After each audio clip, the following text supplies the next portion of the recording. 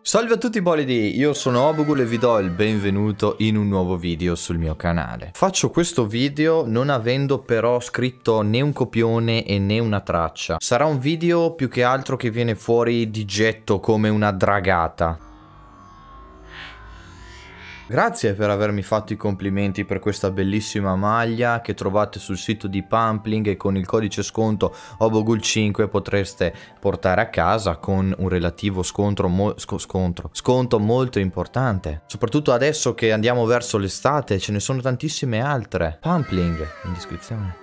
Vi invito a mantenere la calma perché qui oggi noi faremo una cosa che normalmente tanta gente odia, ma lo argomenteremo. Si potrebbe dire che distruggeremo Seven Deadly Sins, ma perché dico distruggeremo? Allora, in questo video però sarò da solo, ma avrò il supporto morale di Giorgione. Io Giorgione là, Giorgio Battisti, ragazzi, probabilmente molti di voi lo conoscono per... Aspettate un attimo che vado a prendere... Lui... Esattamente, raga, Death Shield, il manga manga di Giorgio Battisti e Luca Molinaro, il manga di mangaka, dove mangaka non fa il mangaka. No dai, sto scherzando, sto scherzando, era una battuta becera. Ma andiamo agli albori. Durante la live, o almeno una delle live anime tubers sul canale di Ronin, che vi spoilerò, ho in mente di fare anche qui, chissà quante cose fiche, c'è stata una domanda relativa a Seven Deadly Sins, una domanda che era rivolta un po' a tutti. Questa domanda ha colpito molto anche me, ed era cosa ne pensiamo di Seven Deadly Sins. Adesso non mi ricordo a chi è piaciuto, a chi no, però mi ricordo una persona a cui non è piaciuto. Hanno detto la loro, io compreso. Quando è toccato a Giorgio, avrei voluto essere lì con con lui per vedere la reazione della gente. C'ero, ma volevo vederla dal suo punto di vista, proprio sul suo computer. Giorgio ha distrutto l'opera da un punto di vista narrativo, soprattutto, ma mi sembra anche da un punto di vista di disegni. Forse nei commenti mi specificherà meglio lui, però io mi sono concentrato molto sul, sull'aspetto ovviamente narrativo dell'opera. I sette peccati capitali, Nanatsu no Tensai, o Tensei, Tensai, Tensei,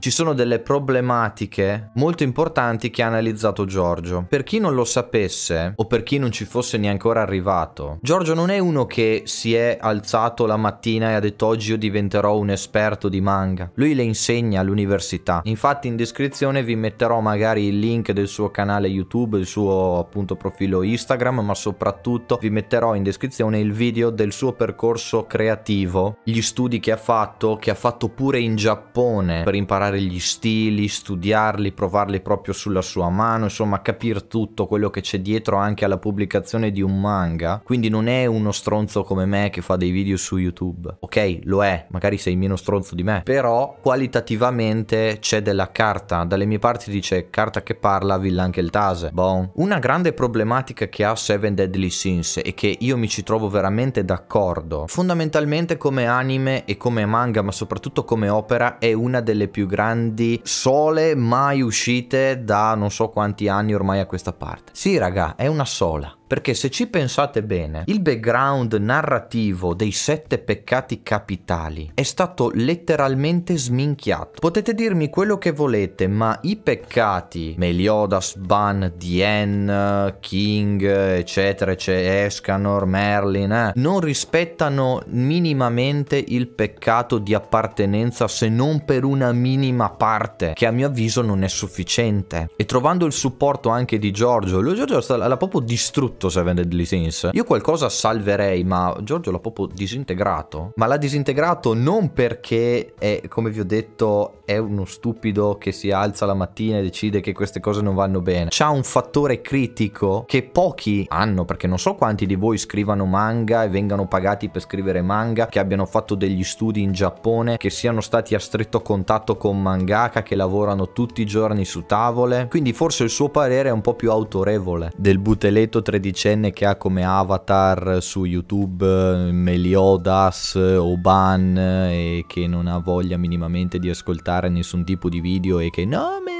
mio personaggio preferito.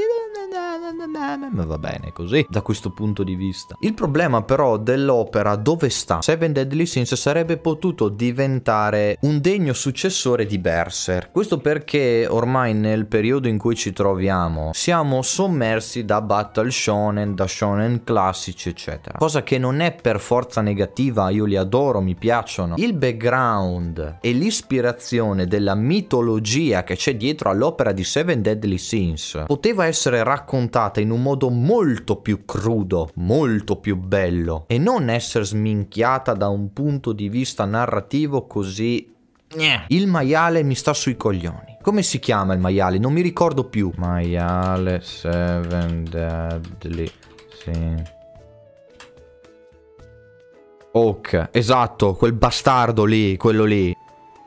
L'autore dell'opera, che adesso devo leggere perché non ricordo, Nakaba Suzuki come la moto, probabilmente è stato accattivato più che altro dalla storia dei sette peccati capitali che sono apparsi anche nell'opera di Dante Alighieri, ha visto il potenziale narrativo e ha detto ok io adesso qua devo sfruttare qualcosa perché è palese che Suzuki non si sia minimamente interessato di quello che c'è dietro alla costruzione di questi peccati peccati, cioè co- co- cosa siano, per quale motivo siano così importanti, eccetera. Ha visto che suonavano bene e ha voluto farci uno shonen, sprecando così il, il grandissimo potenziale che avrebbe avuto quest'opera. Perché nonostante sia famosa, sarebbe potuto essere ancora più famosa se solo si fosse improntato da un punto di vista professionale in un modo diverso durante la stesura dell'opera, del manga in generale. Perché il background per creare qualcosa di molto figo c'era. Un'altra critica che effettivamente potrebbe essere interessante da muovere al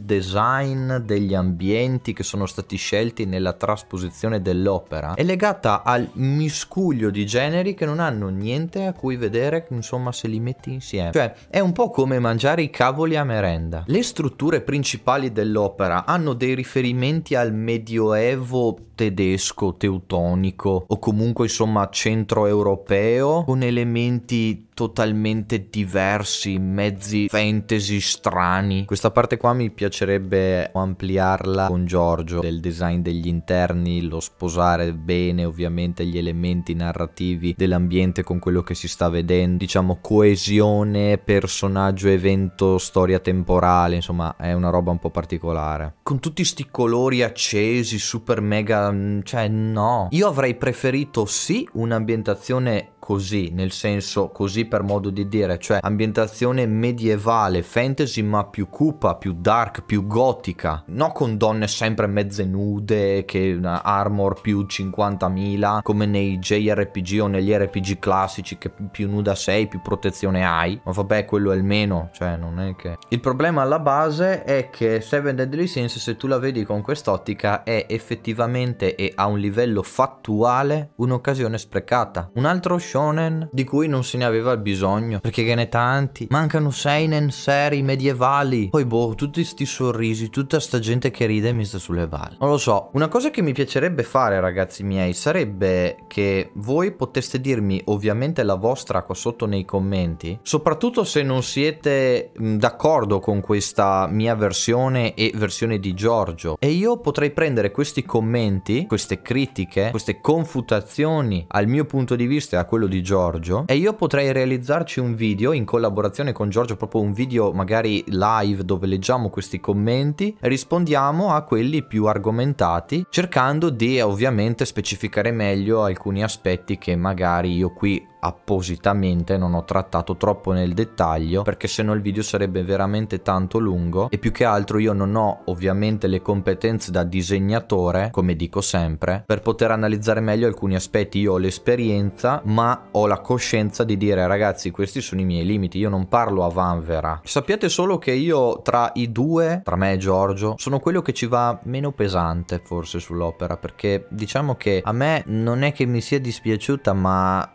sotto certi punti di vista è vero, è uno spreco gigantesco ed è in, non si può non vedere queste cose così secondo me. Se tu fai un passo indietro e guardi non questo manga ma l'insieme dei manga in cui ci troviamo noi adesso e cosa sarebbe potuto essere quest'opera. Comunque, come detto, vi invito a dirmi qua sotto nei commenti cosa ne pensate, se siete in disaccordo, vi invito come sempre a mantenere rispetto e a commentare, perché come detto ci farò un video sui commenti più belli. Detto ciò, in descrizione trovate anche i link come detto di Giorgio se volete andare a fare un salto da lui, fidatevi, merita molto, molto bravo. Noi ci rivediamo in un prossimo video, da qui a Google è tutto, o in una prossima live, insomma vedete voi. Statemi bene, mi raccomando, e boh, ci ciao, non so, ciao.